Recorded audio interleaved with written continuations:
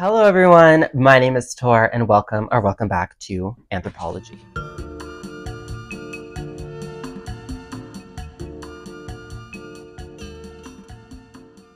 Thank you for joining me in today's video. I hope you're all doing well. Today, we're going to be talking a little bit about Farfetch's pre-loved shopping experience, when they got into the pre-loved market, why they got into the pre-loved market, and a little bit about their pricing strategy because I'm sorry, but 540,632 Canadian dollars for this 1989 Chanel elongated clutch bag is ridiculous.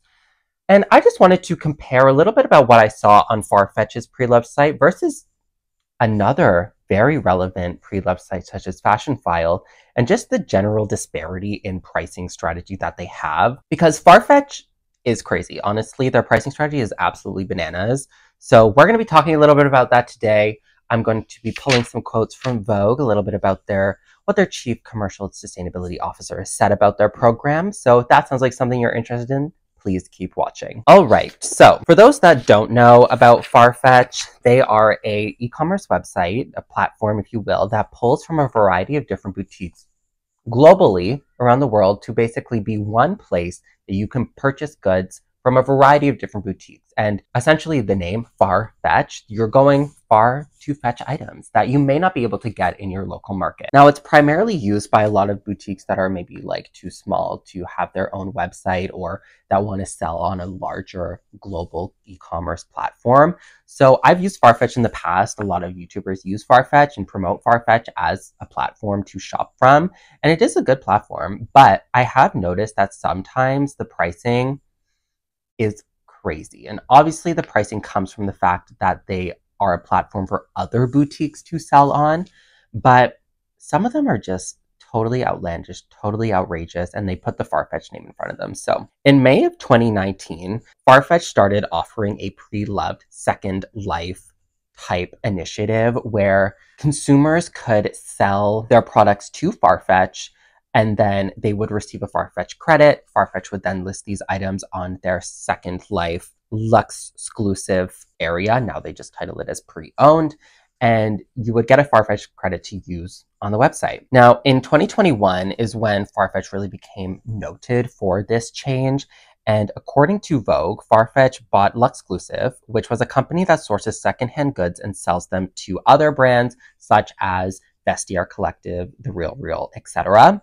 And according to their chief commercial and sustainability officer, the opportunity is for them to sell new products in addition to pre owned products, increasing their circularity. So in 2021, the resale industry was estimated to be worth 28 million euros and was predicted to grow by 10 to 20%, according to Bain and Company, outpacing the net new luxury industry. They wanted to do this because they wanted to obviously increase their sustainability goals and circularity. They wanted to show that pre-owned goods produced on Second Life could get more circular products within their assortment and increase it by 2030. Belloli, which is their chief commercial and sustainability officer, said, there is an opportunity for brands to understand that they don't need to produce new items or make more products in order to sell or make money. Now, this is a great initiative. I think product circularity is great to not only reduce waste, so reduce the opportunity for people to buy net new products or to have like duplicates because often these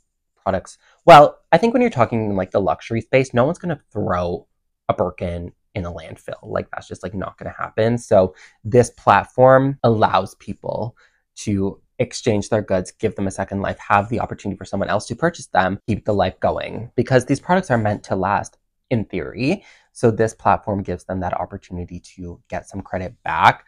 Now it's like all other I would say like resale platforms, you won't get exactly what you paid for it. But what I've noticed that's different about Farfetch is that their prices are significantly higher than a lot of other resale secondhand auctioneer websites. So interestingly, I looked at their annual report to see if they were going to provide a breakdown of what this pre-owned market share was compared to or what the pre-owned segment of their business or category of their business was in relation to their net new assortment. However, there was nothing in their 2023 annual report.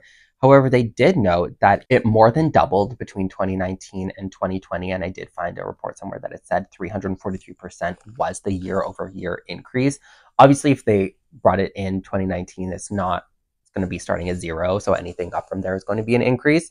But some of the examples that I found which were really outlandish to me was the Chanel 1989 elongated flap clutch. This one retails for 300,000 US dollars or 540,632 Canadian dollars, which is actually crazy. Like half a million, more than half a million dollars on a clutch bag from 1989 is insane. Like if you think Chanel prices in the store are bad, like that's crazy. And another one which I wanted to compare, just a standard black Birkin 25. Farfetch has two options. The 2020 version of this retails for 57,984 USD, classic black bag gold hardware.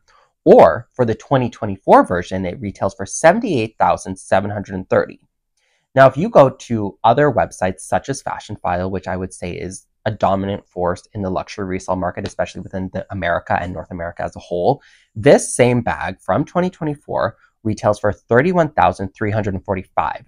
So that is literally more than half the price of the Farfetch version, which is actually like crazy. $78,000 before tax on a simple black Birkin bag is crazy. That is more than I've seen at any other website. Now, if you're looking for something a little bit more unique. I found two versions of the Dalmatian Kelly.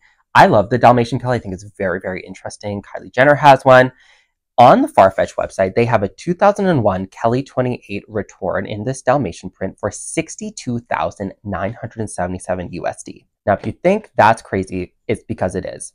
If you go on Christie's, they sold a 2000 version of the 32 of this Kelly for 16,250 that's over $30,000, like almost $35,000 in price discrepancy for pretty much the same bag. Now, it doesn't stop there. They've also excluded their categorization to include watches, such as a $400,000 Richard Mille, which is crazy, but also the 2005 Kelly Sellier in metallic gold for 226,979. What do you think of this version of Farfetch's pre-sale market? Because Obviously, they do sell some things that are more reasonably priced. I went high low because I was like, what is the most outlandish thing they sell?